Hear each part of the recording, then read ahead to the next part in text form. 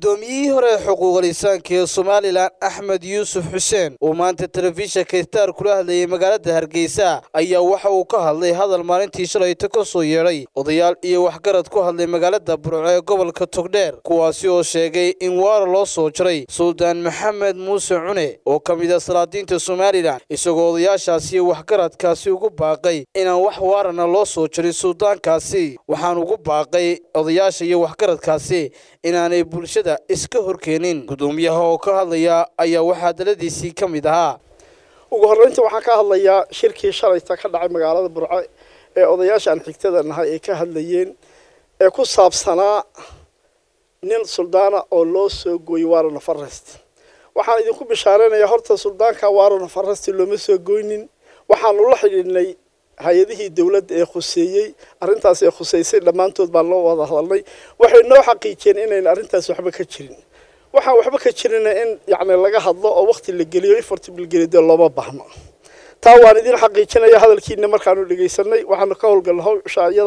وحنا نو عداتين ارنتا يدحبك كين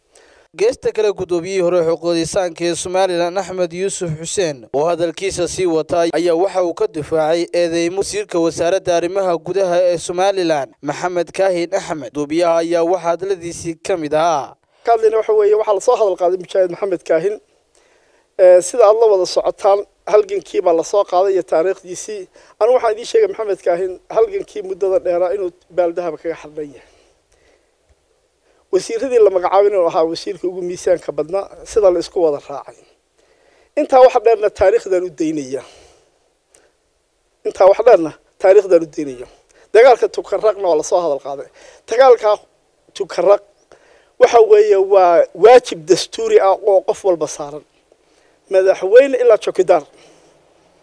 waa wada waa la wada leeyahay nina goonni uma laha guushiisana waa la wada leeyahay guuldarradiisana waa la wada leeyahay أنك واجب كان نصارى وحوي. إن أنا أود تفاحي ذل سيد يقول لجو قال لها. قوش يقول در هذا لبعض إلهي بحية قوش يقول در هذا لبعض إلهي بحية لكن حق يجاو حق إن وضع عضل قد لوره وذكر إلهي بوحية